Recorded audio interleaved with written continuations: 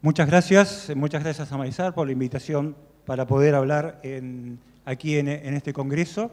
Y, el tema que, nos convoca es eh, hablar un poco de esta, agenda estratégica para el sector semillero, pidiendo las disculpas a la Casa y, a los convocantes, que es Maizar, porque eh, hablar de semillas en Argentina en particular, eh, saben que hay como dos mundos en nuestra industria, eh, los híbridos, maíz, sorgo y girasol a la cabeza, y las autógamas, eh, soja y trigo. Y claramente una gran parte de los problemas por los que atraviesa nuestra industria están enfocados en la parte de las semillas de las especies autógamas y no particularmente la de los híbridos. Entonces, cuando hablamos de la estrategia no podemos soslayar esta importancia y obviamente la palabra soja y la palabra trigo la van a escuchar a lo largo de mi presentación. Eh, de lo que vamos a hablar es un poco de tres temas, el contexto global y local y dos tipos de desafíos que tiene nuestra industria, los marcos regulatorios y los marcos referidos a propiedad intelectual. El estado actual de la situación y algunas, y algunas conclusiones. Entonces, esto va a generar en tres, en tres ejes, el eje de la innovación y dos ejes que son los desafíos por los que está atravesando nuestra industria. Vamos al contexto global y local. Eh, respecto a este contexto, en los últimos 10 años, en los últimos, eh, no 10 años, en los últimos 3 años han aparecido aproximadamente una serie de 10, trabajos muy de fondo. Algunos de estos trabajos han sido realizados por la, propia FAO, en donde hay una coincidencia respecto a que la tasa de mejoramiento de los cultivos principales no está en el nivel en que esa tasa debería estar. De todos los papers, este que está aquí, eh, que es bastante difícil poder leer el nombre de los autores, pero sí se pueden ver eh, las tendencias, está mostrando cómo está en línea llena la tasa de incremento productivo y en línea eh, punteada lo que debería ser la tasa de incremento para los cuatro cultivos principales. En los cuatro cultivos principales lo que se ve es que no se está haciendo, no se está incrementando la productividad de la manera en que es dable esperar. Este, este tipo de cuadro tiene eh, dos argumentaciones que están abajo de todo esto y es por supuesto, cuando hablamos de la tasa esperable de productividad, es, ¿por qué estamos hablando de una tasa esperable? Eso es referido a qué?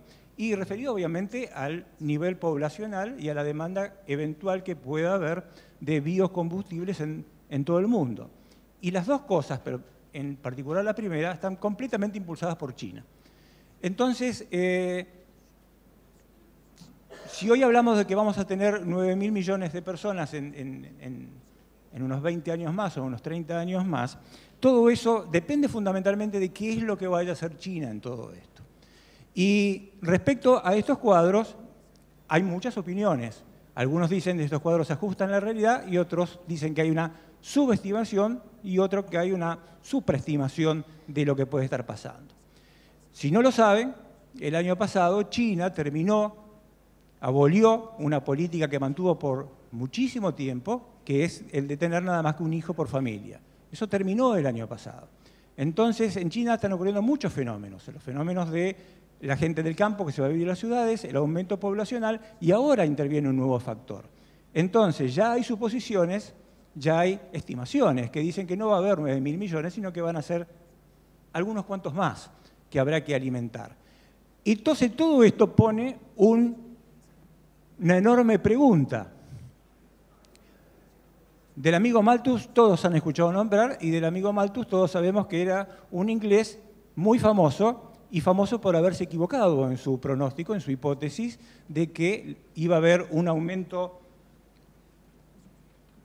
un aumento poblacional en forma geométrica y un aumento de la alimentación en forma aritmética, de, forma tal que en algún momento iba a haber un punto de crisis y iba a haber una crisis mundial que se iba a extender este, absolutamente por todo el mundo. Esto no se ha dado hasta el presente.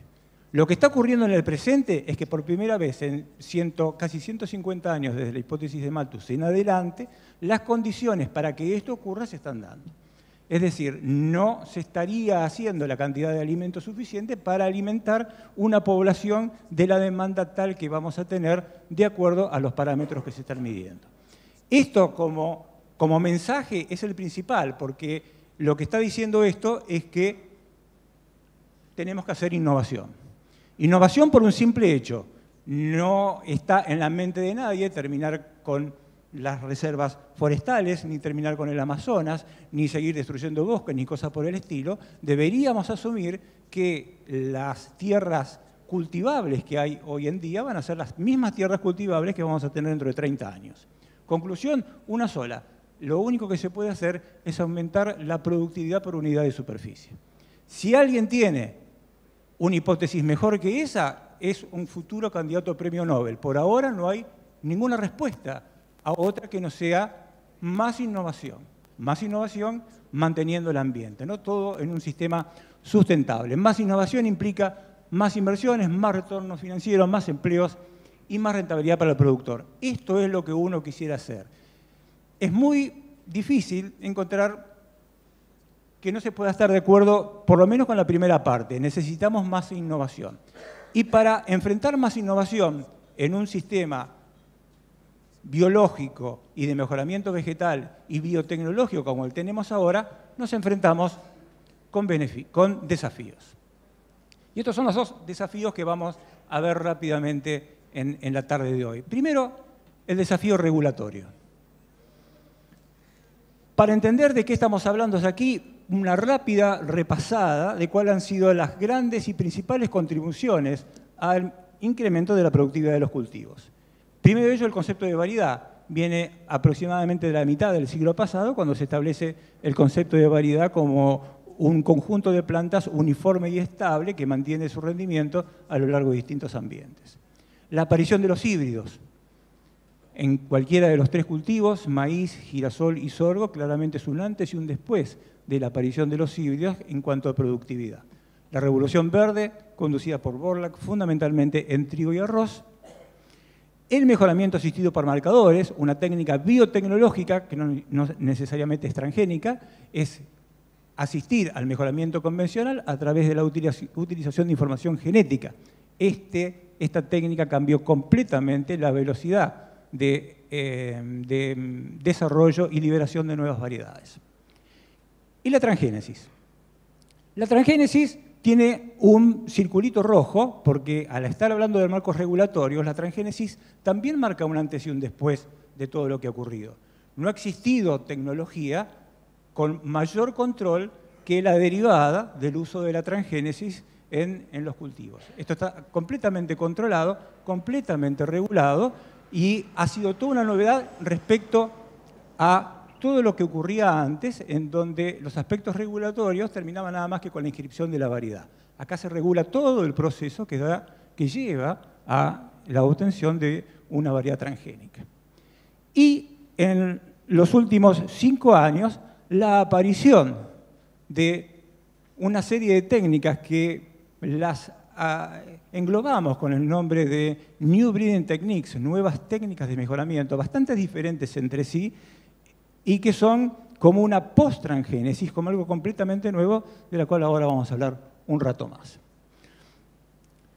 Estas nuevas técnicas de mejoramiento, lo que está viniendo después de la transgénesis, son un grupo de técnicas muy diferentes entre sí que pueden generar algunas de estas cosas. Cambios en sitios específicos del genoma. Ya no se trata de tomar un gen de una bacteria o de otra planta y meterlo en el cultivo, sino de editar el genoma en forma específica y en puntos determinados. Permiten la transferencia de limitadas cantidades de ADN entre plantas, pueden modificar los caracteres sin hacer cambios en las secuencias genómicas, es decir, alteraciones epigenéticas, insertar secuencias de ADN específicas entre individuos sexualmente compatibles y silenciar la expresión de genes. Como ven, una gran cantidad de cosas eh, sumamente específicas y la construcción de genomas de nuevo, que es lo más avanzado, es decir, directamente sintetizar genomas en laboratorio.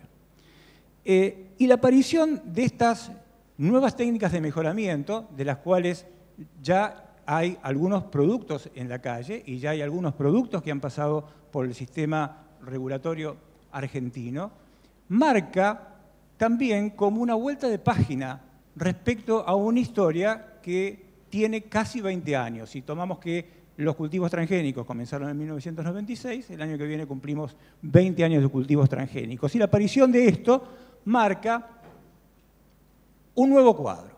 Un nuevo cuadro en el cual nosotros veníamos de un mejoramiento convencional, en el cual el sistema de protección del producto final, la variedad, era por el derecho de obtentor, por el DOP.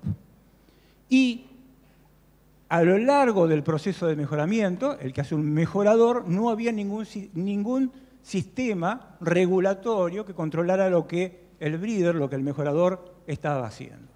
La antítesis de esto lo conformó la transgénesis, la antítesis completa de este, de este cuadro en el que los mejoradores se movieron por durante tanto tiempo. La transgénesis, los productos de la transgénesis se protegen fundamentalmente a través de patentes, no de derecho de obtentor, sino de patentes, y todo el trasfondo transgénico, todos los procesos que se hacen aquí a través de la utilización de la biotecnología y el ADN recombinante, está altamente regulado. 20 años llevamos con esta oposición de dos, de dos fuerzas que son las que han movido todo el mejoramiento vegetal. Algo sin regulación, algo altamente regulado, algo que se protege de una manera y algo que se protege de otra. Las nuevas técnicas de mejoramiento se ubican en el medio de estos dos mundos que hemos, en el que nos movimos en los últimos 20 años, de manera tal que se está produciendo este efecto. Ya no hay dos mundos completamente diferentes dentro del mejoramiento vegetal, sino que ahora todo se une a través de estas nuevas técnicas de mejoramiento que comparten cosas del mejoramiento convencional y comparten cosas de la transgénesis. La pregunta es, ¿y esto cómo se regula, y esto cómo se controla, y esto cómo se protege, porque ahora ya es un continuum entre una cosa y otra y no dos mundos completamente diferentes. Terminamos esto y vemos los desafíos de la propiedad intelectual. El primer desafío de la propiedad intelectual, el más importante de todo y que está desde Argentina hasta cualquier país desarrollado, es lo que se denomina la coexistencia de derechos. Una discusión que está muy en boga hoy en día en Argentina, pero que está a nivel mundial. Porque el hecho que está ocurriendo ahora es que tenemos un germoplasma en cualquier especie, en este caso está este, ilustrado con trigo, una semillita da lugar a una variedad, esa variedad se expresa, es decir, vemos su fenotipo, y la expresión del genotipo o sea, el fenotipo, la expresión, es lo que se protege a través de un derecho de obtentor. Hay una enorme confusión respecto a este tema, los derechos de obtentor, lo que acá en Argentina le denominamos la ley de semillas, justamente no protege semillas. La gran confusión que hay respecto a este tema, las leyes de protección son leyes de protección de cultivares, leyes de protección de variedades y de la expresión fenotípica del genotipo. Eso es el derecho de obtentor. Esto es un sistema internacional que prácticamente está en todos los países desde el año 1961 a la fecha. Pero aparece la biotecnología, como vimos eh, hace un rato, y el objeto de la biotecnología es la construcción génica. Es una construcción completamente artificial, hecha en el laboratorio y que tiene varias partes, componentes que no vamos a entrar en los detalles técnicos por el momento. Estas construcciones se patentan. Se patentan en Argentina, se patentan en casi todos los países del mundo. Hay decenas de patentes concedidas en Argentina para construcciones artificiales, construidas por el hombre, por la mano del hombre, en laboratorios. No se puede patentar nada que sea preexistente en la naturaleza. Podría haber traído una enorme cantidad de ejemplos pero traje uno para que después Claudio se pueda explayar, porque esta es la patente concedida al equipo de Raquel Chan del CONICET de un gen que fue licenciado a la compañía en donde Claudio trabaja, a Bioceres, y es una de las eh, eh, posibilidades, la, posibilidad más importante que tiene el sistema científico de tener un producto comercial biotecnológico en Argentina en poco tiempo atrás. Esto es una patente concedida. Como esta patente, hay varias más. Entonces, ahora tenemos una tecnología o un componente que tiene una patente y esa patente la metemos dentro de una variedad vegetal. Y acá empiezan los problemas, porque hay una coexistencia de derechos de dos cosas que están funcionando al mismo tiempo. El derecho del obtentor, que se protege por esas leyes que están ahí, y la patente, que está protegida por la ley de patente acá en Argentina. Pero el cuadrito anterior era muy simple. Esto puede llegar a ser bastante más complicado, porque hoy ya eventos individuales prácticamente no se comercializan más, comercializamos eventos estaqueados, y puede ocurrir que cada uno de esos eventos, construcciones artificiales, tenga una patente distinta, con solicitantes distintos. Fíjense la cantidad de derechos que empezamos a tener sobre una misma variedad y lo complejo que se vuelve el asunto. Y puede haber algo todavía mucho más fino que esto, y se refiere a que la aquella construcción que estuvimos viendo y que tiene diferentes partes componentes, la construcción es el evento de transformación, pueda llegar a tener distintas patentes en distintas partes de la construcción. Esto puede ser altamente complejo en todos sus aspectos, no solamente regulatorios, sino en este caso específico de propiedad intelectual.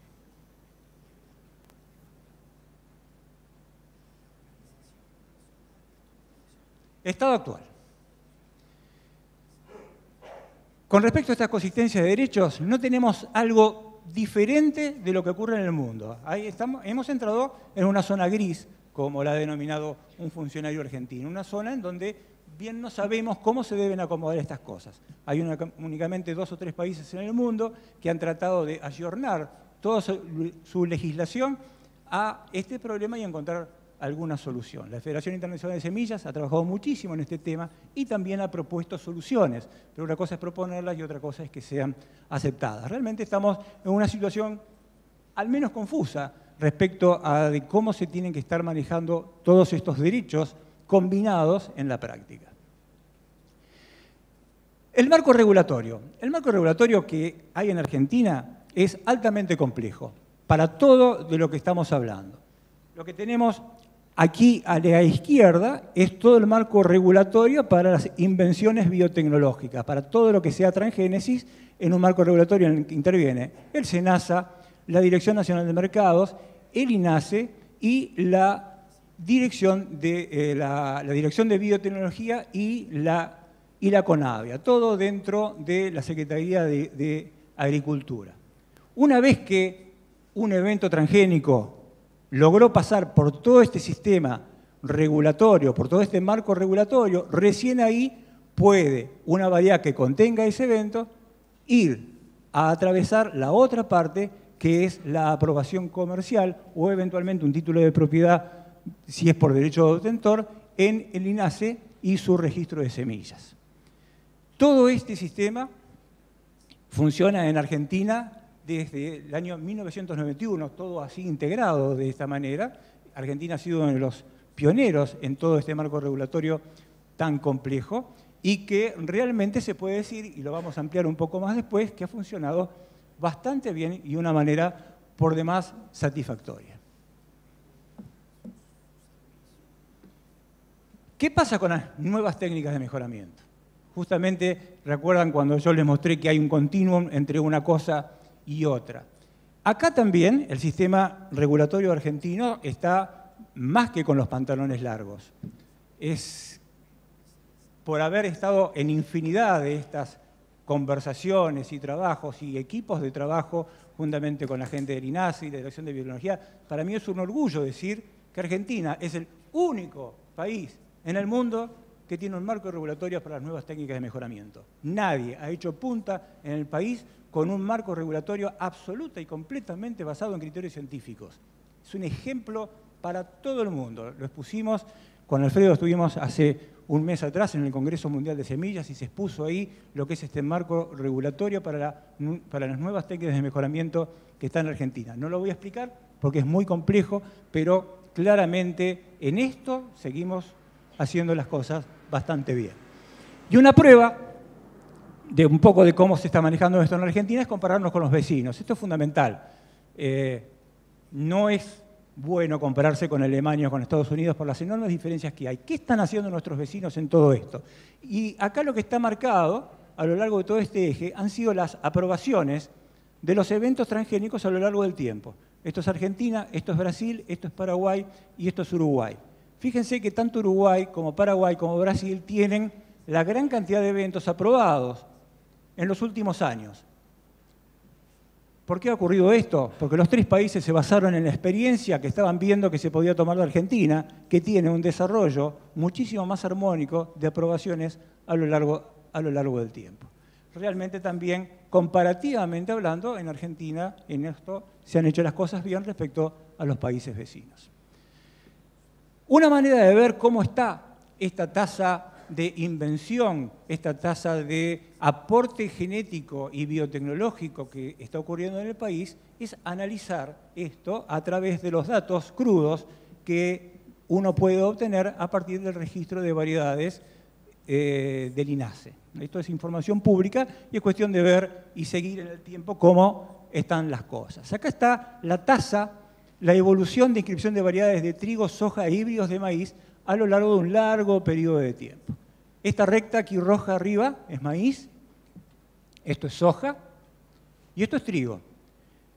Está hecho un análisis de regresión de estos datos y que muestran que en el caso de maíz se están inscribiendo, según esta regresión, 2,67 variedades más por año en cada año que pasa. En el caso de soja es prácticamente alrededor de uno y en el caso de trigo se necesitan tres años para aumentar en una variedad la cantidad de variedades inscriptas este, por año.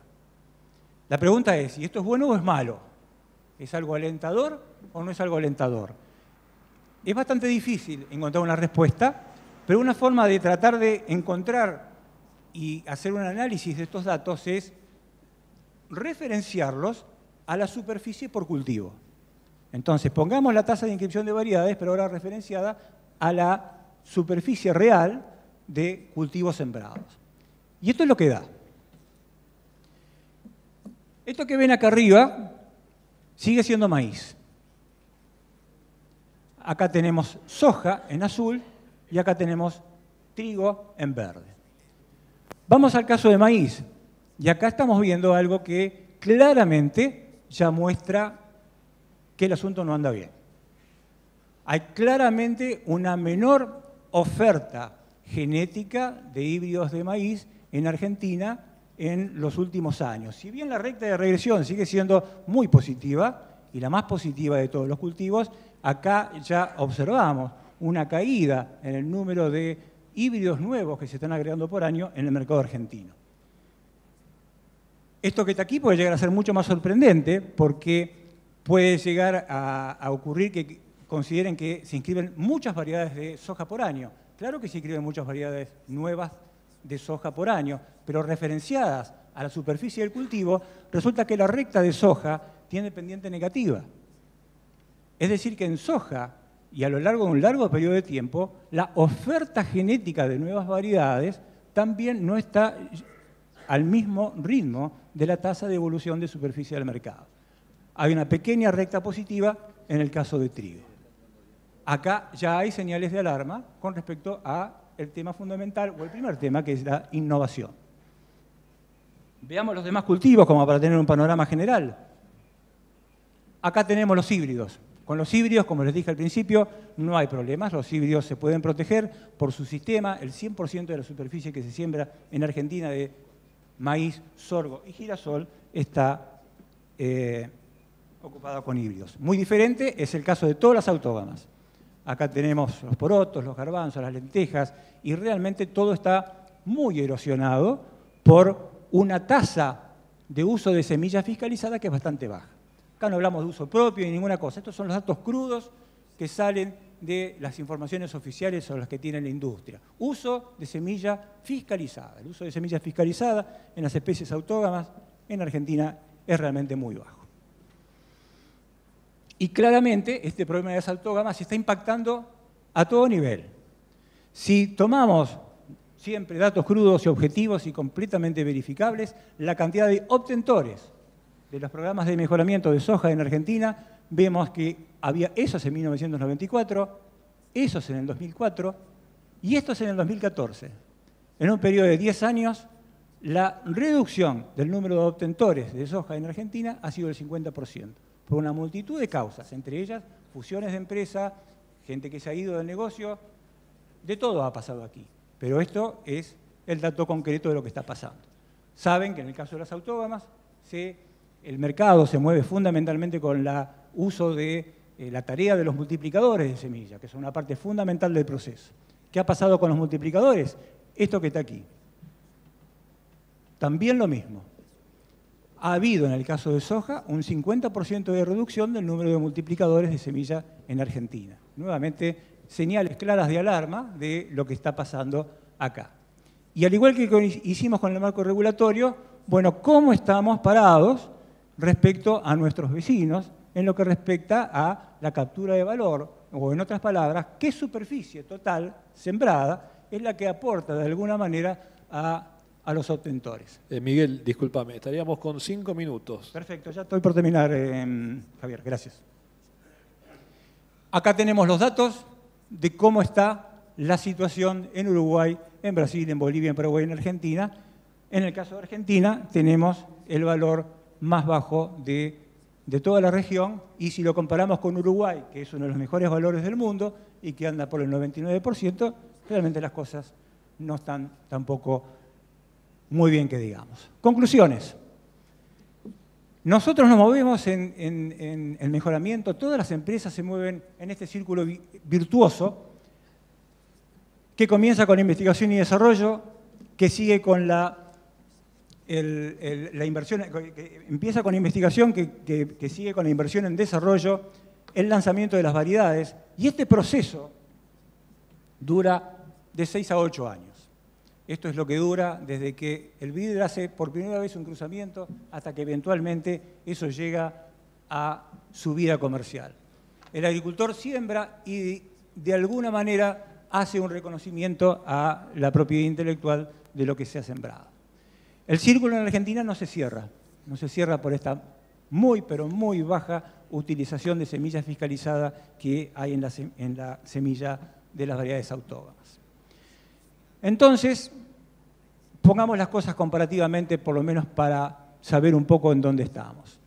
El mejoramiento genético más la biotecnología, juntamente con las regulaciones y las legislaciones, debería atender a un desarrollo armónico. Es decir, si hacemos mucha innovación, tengamos un buen marco regulatorio y tengamos un buen marco de propiedad intelectual. Esto es utópico, esto no ocurre en ningún país en el mundo, de que todo funcione perfectamente, porque como ocurre siempre, la ciencia anda mucho más rápido que las regulaciones y la propiedad intelectual. Pero, bueno, este es el óptimo. ¿Dónde estamos? Y estamos que ya tenemos señales que no estamos haciendo todo lo que podríamos hacer en mejoramiento vegetal. He tratado de mostrarles datos duros y objetivos, sin apreciaciones personales o institucionales, para poder poner esto en contexto. El marco regulatorio claramente es una cosa que no nos cansamos de decir que se ha hecho muchas cosas bien en Argentina. Es casi una política de Estado, o es una política de Estado, desde el año 1991 a la fecha, pasando por todos los gobiernos y de todos los tintes. Y quizás el corolario fue el año pasado cuando la FAO eligió a la CONAVIA como la institución internacional de referencia para las decisiones que debe tomar. La única organización, la única institución dedicada a establecer marcos regulatorios en el mundo fue la elegida, que es la CONAVIA, fue elegida por la FAO para este, tenerla como comisión de referencia en cuanto a sus decisiones. Es realmente el premio a una labor muy, pero muy bien realizada. Con respecto a la legislación de propiedad intelectual, y creo que es el tema que han leído mucho en los últimos años y particularmente este año, las cosas están bastante por debajo de lo que creemos que debería ser la lógica. Y las preguntas que nos hacemos es cuánto esto está impactando en esto, que es lo que todos consideramos que es lo que hay que alentar. Muchísimas gracias.